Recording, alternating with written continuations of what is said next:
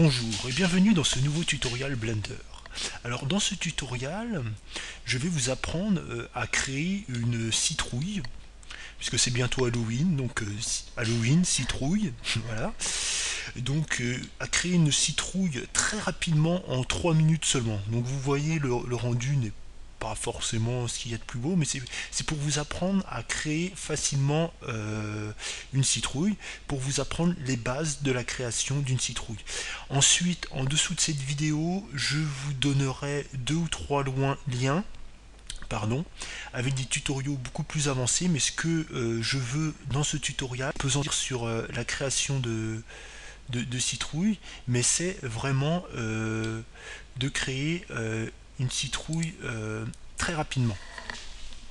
Donc pour cela nous allons créer euh, un nouveau euh, fichier blend, donc new. Donc nous allons pour créer notre citrouille bah, utiliser une sphère, une UV sphère, comme ceci.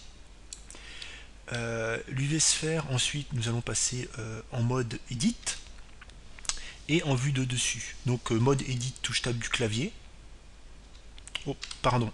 Excusez-moi, j'avais promis quelque chose, que je ferais quelque chose pour les tutoriaux, c'est d'utiliser le User Preferences. Euh, d'utiliser une fonction du User Preferences, c'était Springcast, d'ailleurs il est, coché, mais je ne l'ai pas activé, pardon. Cela va vous permettre euh, d'avoir affiché à l'écran euh, les, boutons de la souris sur lesquels je vais taper et les, tous les raccourcis clavier que je vais utiliser. Raccourcis clavier qui sont très utiles dans Blender. Donc nous allons mettre comme ceci. Donc, d'accord. Donc nous allons passer en mode euh, edit maintenant. Touche euh, euh, table du clavier. Vous voyez, table s'affiche ici. Et ici vous avez les boutons de la souris sur lesquels j'appuie. Donc nous allons sélectionner une, une ligne en fait, une ligne d'edge ce qu'on appelle une ligne d'edge en 3D, donc une ligne euh, qui fait euh, le tour euh, du, de la sphère en fait. Une ligne d'edge avec Blender. Alors pour cela, nous cliquons sur Alt, puis sur une ligne, vous voyez, une edge ici. Cela sélectionne une moitié d'edge, comme ceci. Et nous allons le faire sur une edge sur deux en fait. Nous allons passer en vue de dessus, ça va être beaucoup plus simple. Et euh, pour ce faire, pour sélectionner en même temps, parce que si nous voyons, si, nous essayons de sélectionner une autre euh, ligne d'edge, comme ici, nous voyons que ça désélectionne la première pour sélectionner la suivante. Donc nous allons faire euh, Shift plus Shift plus Alt plus clic de la souris, comme ceci. Donc nous allons sélectionner une ligne d'edge sur deux. Donc nous allons faire Shift Shift, comme ceci, pardon, donc euh, Alt, pardon, c'est Alt d'abord, Alt, plus Shift, et vous gardez Alt et Shift enfoncé, bon j'ai vu que Alt et Shift ne s'affiche pas ici, c'est peut-être un défaut de paramètre, je verrai ça dans un prochain tutoriel, et vous cliquez euh, droite avec euh, la souris, comme ceci, afin de sélectionner une ligne sur deux. Oups. Petite erreur. Donc là, euh, vous faisiez euh, la même manip. Shift et Alt. Et vous cliquez sur la euh, ligne d'edge que vous voulez désélectionner. Et vous pouvez continuer. Vous voyez, euh, Blender est vraiment euh, très intuitif. Euh, une fonction peut servir à une chose et à son contraire. Donc des fois, c'est vrai que ça peut être un peu déstabilisant au, départ, mais je vous assure, quand, on, y prend l'habitude, ça devient très très très intéressant. Donc voilà. Donc nous allons cliquer sur la molette de la souris et bouger, donc ce qui nous permet de pivoter. Nous allons appuyer sur la touche S afin d'effectuer euh, une redimension de ces lignes d'edge et euh, pousser vers l'intérieur, vers, la, vers la sphère. Et nous voyons que euh, les lignes d'edge vont vers l'intérieur. Donc nous n'allons pas exagérer trop exagérer la forme, comme ceci. Et nous repassons, donc nous voyons que nous avons une forme une sphère avec des lignes d'edge enfoncées. Nous voyons que lorsque nous passons en mode objet, ils sont bien enfoncés, nous voyons bien les, facettes. Donc nous avons déjà les, rainures en fait de, la citrouille. Donc maintenant pour créer une citrouille vraiment euh, pure nous allons déjà euh, effectuer euh, un, lissage en fait de, cette surface en faisant modifieur, donc la clé à molette, modifieur, et subdivision surface ici, et nous voyons que les lignes se sont déjà aplanies, puisque nous avons effectué une subdivision donc nous allons augmenter cette subdivision comme ceci. Et nous voyons euh, tout de même que euh, donc déjà ça, affine beaucoup les, faces par rapport au départ, mais nous voyons qu'il reste encore des petites euh, qui restent des zones carrées. Donc pour aplanir encore ceci, nous n'allons pas, nous n'allons pas rajouter une ligne de subsurf, sinon cela va, quand même préciser la forme, mais va rendre les formes moins euh, angulaires. Enfin, euh, les, formes en fait de la citrouille vont moins ressortir en fait. Donc c'est pour ça que ça ne m'intéresse pas, je, préfère rester euh, dans ce mode, mais rajouter ce qu'on appelle un smooth. Et le smooth aplatit, en fait, crée l'illusion, les, facettes sont toujours ici, puisque lorsque nous appuyons sur flat, elles reviennent, mais le smooth permet de donner l'illusion d'une surface plus lisse. Il n'y a pas plus de, polygones, ce qu'on appelle de polygones dans un objet, mais c'est simplement une illusion qui est donnée par un certain algorithme de calcul, bon je ne vais pas rentrer dans les détails, mais euh, cela permet de donner euh, l'impression euh, d'un lissage. Donc nous appuyons sur la touche 3 pour passer en vue de côté, puis 5 pour passer en vue orthonormale. Nous allons utiliser, bah, passer en mode tab, donc en mode edit. Nous allons sélectionner euh, cette fois-ci, pardon, nous allons repasser bah, avec la molette de la souris sur le dessus et uniquement sélectionner euh, le point euh, au-dessus de la citrouille et utiliser ce qui s'appelle ici le proportional editing, ce qui permet de, au lieu de déplacer un point après l'autre comme je peux le faire ici, ainsi changer la, forme de l'objet, nous allons changer euh, le, positionnement de plusieurs points en même temps. Donc comment nous allons faire Je vais vous l'expliquer tout de suite. Donc on passe en vue de côté, en vue orthonormale, ah, pardon, nous sélectionnons euh, le point du dessus, et euh, nous, nous, engageons le proportional editing, et le proportional editing permet que lorsque nous bougeons ce point avec la touche, le bouton G, comme ceci, nous voyons une surface qui, est symbolisé par un, cercle blanc que nous pouvons euh, modifier en euh, avançant et en reculant la molette de la souris. Et ce, cercle blanc définit la zone d'action en fait euh, du proportional editing. Nous voyons ici, nous allons ici, par exemple que le, que le cercle agit sur la moitié de la sphère et c'est ce que nous voulons. Donc il suffit d'abaisser pour voir tous les points euh, s'abaisser proportionnellement et ainsi donner euh, bah, la forme d'une citrouille, tout simplement. Donc voilà. Voilà pour la, forme de base de notre citrouille. Ensuite, euh, donc nous voyons que ça a déjà bien la forme d'une citrouille, du, légume, mais bon, on voit qu'il manque quand même quelques, petites choses comme,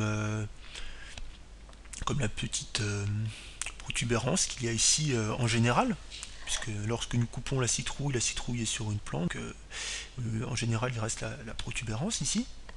Donc pour la créer, ce que nous allons faire, c'est que nous allons créer un cercle, donc Shift A, et euh, cercle. Nous allons redimensionner ce cercle, touche S du clavier. Donc nous voyons que le cercle devient invisible. Donc pour qu'il soit toujours visible, nous allons appuyer sur la touche Z afin de passer euh, le modèle en mode euh, filaire. Donc nous allons redimensionner pour arriver jusque euh, dans, au centre de la citrouille. Nous allons repasser en vue de côté. Et la raison pour laquelle le cercle n'était plus visible tout à l'heure, c'est qu'il était passé à l'intérieur de l'objet et en dessous. Donc nous allons le repasser au-dessus. Nous pouvons zoomer avec la molette de la souris et nous déplacer en appuyant sur Shift plus la molette de la souris pour nous déplacer vers le haut pour bien positionner le cercle.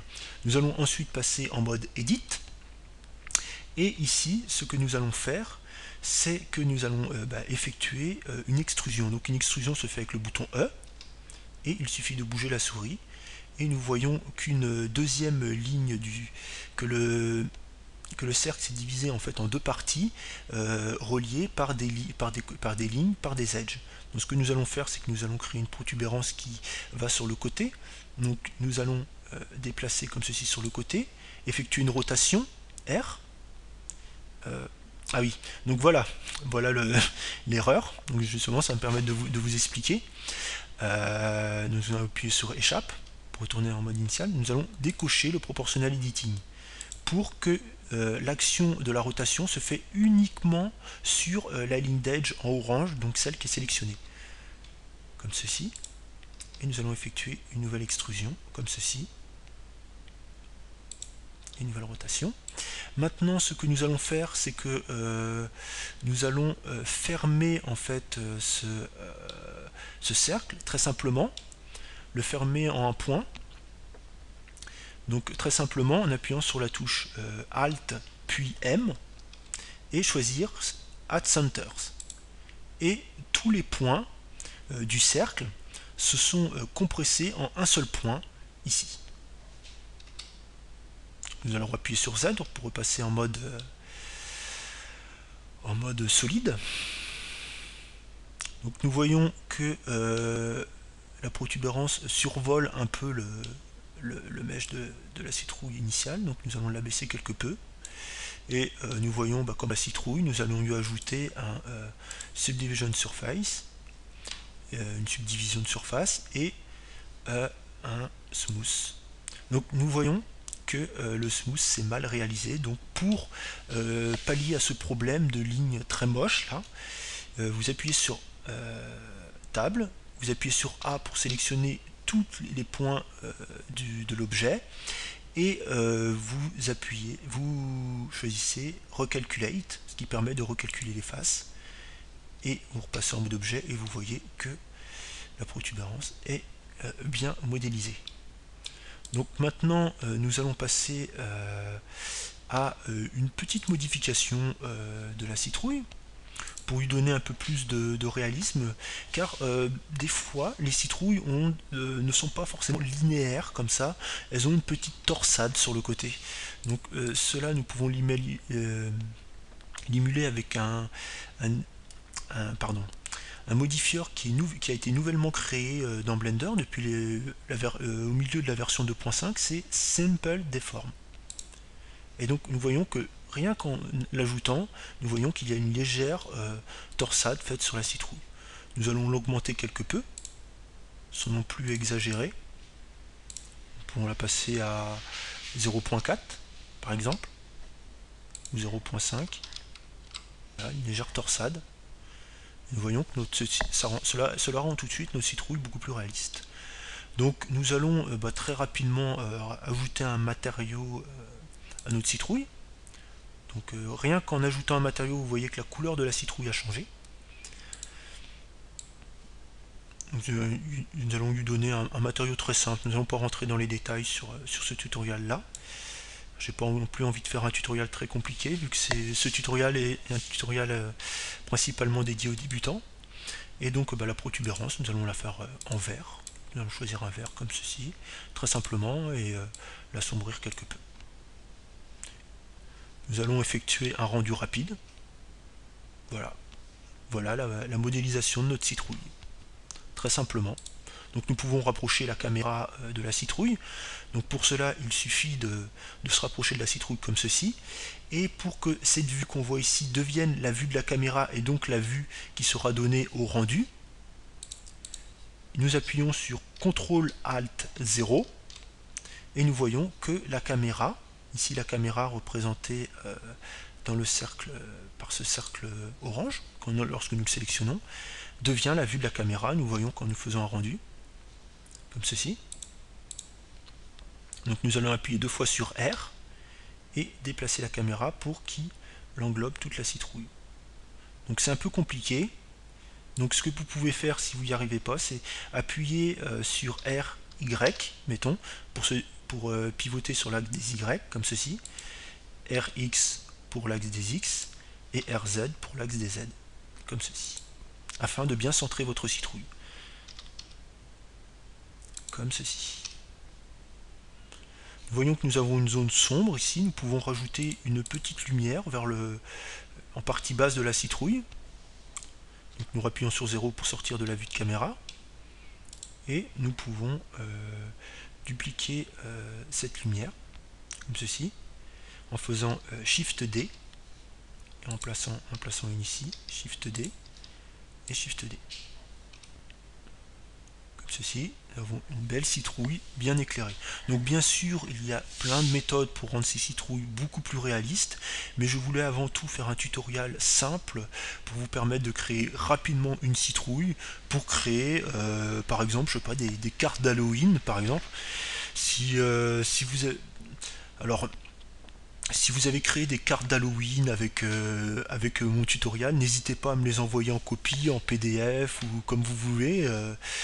Euh, vous mettez juste un lien en commentaire euh, dans cette vidéo où vous avez euh, inséré votre image et je serai très content de voir les rendus que vous avez fait à partir de mon tutoriel. A très bientôt pour un prochain tutoriel.